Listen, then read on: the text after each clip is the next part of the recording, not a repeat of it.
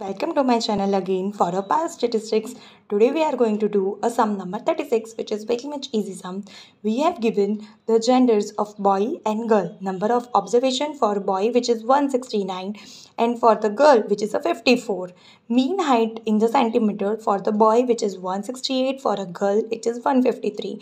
For a boy standard deviation is 14 and for the girl standard deviation it is at 8 means in this observation we have given the number of observation mean height and standard deviation all this when we use in the formula we get an SEM which is very much simple. So here I have did the solution of an SEM we have to find that value which is significant and not. But number of observation which is a more than 30 or more than 20 so that we are going to use a z square not a t-test sum because observation is more than 30 so SEM which is because of two number of observation we are going to use this formula standard deviation whole square divided by n1 plus standard deviation 2 into whole square divided by n2 for SD which is given 14 so I am applying 14 and n1 which is of boy which is 169 number of observations. I am putting over here.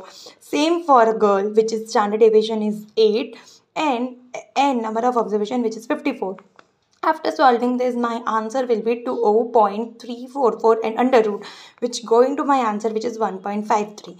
And formula for a, a z, which is an x1 minus x2 divided by SEM, right? But x1 means mean ek ka or mean dusre ka.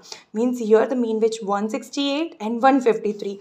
I'm going to minus with it and divide by SEM that we have find, which is 1.53. Dividing all, we get our answer is 9.8. If my answer is greater than 2, then also it is significant significant my answer is 9.8 so yes it is a significance that determine the height difference with the sex. So yes the height differ with the sex. Thank you